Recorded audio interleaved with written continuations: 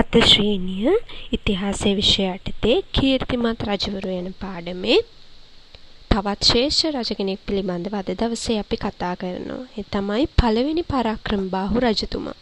අපි මීට කලින් පාඩමේදී පළවෙනි විජයබාහු රජතුමා ගැන කතා කරා. පළවෙනි විජයබාහු රජතුමා තමයි පොළොන්නරුවේ පළවෙනි පාලකයා. එතකොට මෙතුමා ලංකාව එක්සේසත් කරා කියලා අපි ඉගෙන ගත්තා. ඒ වගේම පළවෙනි විජයබාහු අපි දන්නවා කාලිංග වංශික කුමාරිකාවක් වන තිලෝක සින්දරී සමග තමයි විවාහ වුනේ.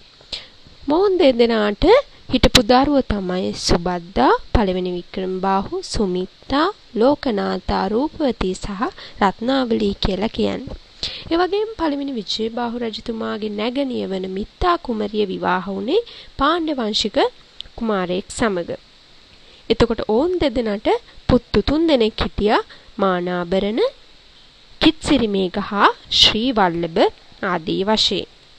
එතකොට මේ මිත්තා කුමරියගේ පාණ්ඩ කුමාරයාගේ වැඩිමල් පුත් මානාභරණගේ සහ පළවෙනි විජයබාහු තිලෝක සුන්දරීගේ දුවෙක් වන රත්නාවලී බිසවගේ පුත් කුමාරයා තමයි පළවෙනි පරාක්‍රමබාහු කියලා කියන්නේ.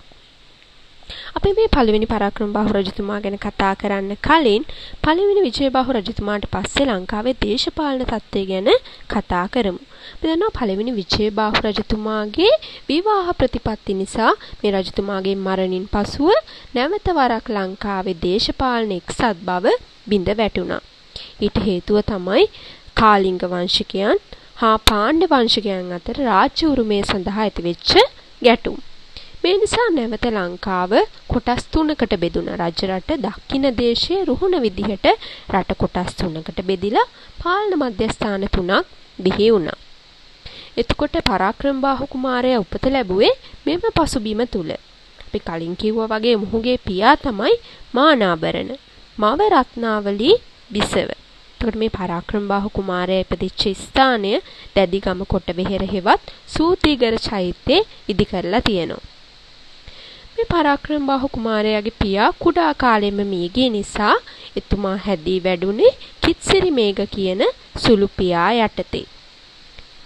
එතකොට මේ කිත්සිරි මේඝ කියන්නේ අර කලින් රට බෙදිච්ච කොටස් තුනේ දක්ෂිණ දේශයේ පාලකයා. ඒ වගේම ඒ කාලේ රජරට ප්‍රදේශයේ පාලකයා වුණේ පළවෙනි විජයබාහුගේ පුතෙක් වන පළවෙනි වික්‍රමබාහු. ඒ වගේම රුහුණු ප්‍රදේශයේ පාලනය කරේ අර මිත්තගේ පාණ්ඩ කුමාරයාගේ පුතෙක් වන ශ්‍රී වල්ලභ. මේ දක්ෂිණ දේශයේ පාලකයා කිත්සිරි මේඝ මිය ගියාට පස්සේ මේ ප්‍රදේශවල බලය පරාක්‍රමබාහු කුමාරයාට හිමි වුණා.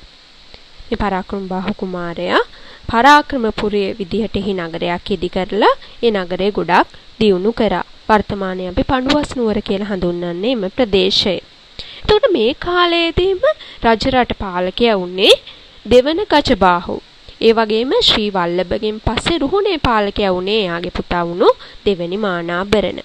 එතකොට මේ පොළොන්නරුවේ බලය ලබා ගැනීමට පරාක්‍රම බාහු කුමාරයා ඒ වගේම දෙවන ගජබාහු දෙවන මානාභරණ මේ තුන් දෙනා අතර සටන් ඇති වුණා. ඒ කියන්නේ රජරට දක්ින රුහුණු ප්‍රදේශයේ පාලකයෝ අතර තමයි මෙහෙම සටන් නැති වුනේ. එතකොට මේ සටන් වලදී පළවෙනි පරාක්‍රම බාහුයි දෙවන ගජබාහුයි එකතු වෙනවා මේ දෙන්න අතර දෙවන මානාභරණට එරෙහිව givisුමක් ඇති කර ගන්නවා. මේ givisුමට අනුව එක්කෙනෙක් මිය ගියාම අනෙක් කෙනාට එම රාජ්‍යයේ හිමි වෙනවා. ඒක තමයි මේ givisුමේ අඩංගු වෙලා තිබ්බේ. මේ givisුමේ පිටපතක් සංගමු විහාරයෙන් හමු වෙලා තියෙන හින්දා මේකට සංගමු විහාර ලිපිය කියලා කියනවා. එතකොට කාලයක් යනකොට දෙවෙනි ගජබාහු මිය යනවා. මේ දෙවන ගජබාහු මිය ගියාට පස්සේ ඔහුට අයිති පාලන ප්‍රදේශ පරාක්‍රම බාහු කුමාරයාට ඉවිසුමට අනුව ලැබෙනවා. නමුත් දෙවන මානාභරණ තමන්ගේ සටන් අත්තරින්නේ නැහැ ඊට පසුවත් පරාක්‍රම බාහුවේ දෙවන මානාභරණ අතර නැවත සටන් නැති වෙනවා. මේ සටනින් දෙවන මානාභරණ පරාජයට පත් වෙනවා. ඔහු රුහුණට පලා යෑමෙන් පසුව මිය යනවා. දෙවන මානාභරණ මිය යෑමෙන් පසුවද ඔහුගේ මව වෙච්ච සුගලා දේවියද පරාක්‍රමබාහුට එරෙහිව සටන් මෙහෙය වෙනවා. නමුත් එම සටන් වලිනුත් පරාක්‍රමබාහු රජතුමා ජය ගන්නවා. ක්‍රිස් වර්ෂ 1153 දී පරාක්‍රමබාහු රජතුමාට නැවත වරක් එක්සත් ශ්‍රී ලංකාවක් බිහි කිරීමට හැකියාව ලැබෙනවා. එතකොට එතුමා පාලන බලයට පත් වුණාට පස්සේ බුදුදහමට විශාල සේවාවක් කරා. ඒ වගේම තමයි ආර්ථිකයට විශාල සේවාවක් කරපු රජ කෙනෙක්.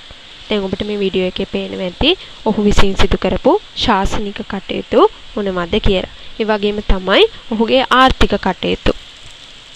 ආ ඒ වගේම ඔහු විදේශ රාජ්‍යයන් එක්ක මොන වගේ විදේශ ප්‍රතිපත්තිද අනුගමනය කරේ කියලා ඔබට දැන් මේ රූප වලින් පැහැදිලි වෙනවා. ඒ වගේම මේ තියෙන එතුමාගේ ජීවිතයෙන් ගන්න තියෙන ආදර්ශ.